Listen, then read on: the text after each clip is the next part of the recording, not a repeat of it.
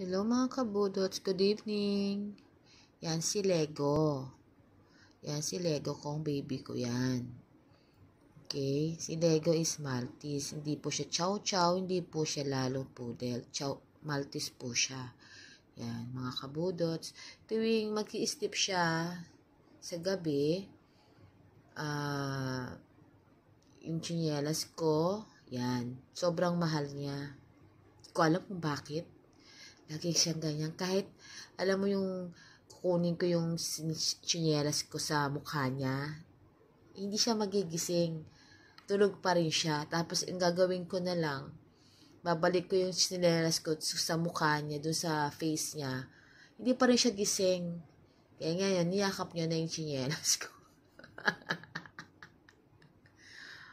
yan. Yan siya tuwing gabi. Matutulog na siya yan. Ganyan siya.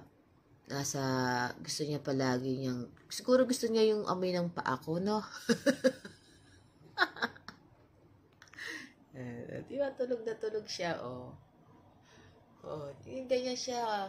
Sarap na sarap siya. Minsan nag, malakas pa yan mag-snoring, pero hindi ko pa siya naririnig kasi masyado ako maingay. Pero, habang nagvi-video ako dito mga kabudos, hindi siya nagigising. Tulog na tulog pa rin siya.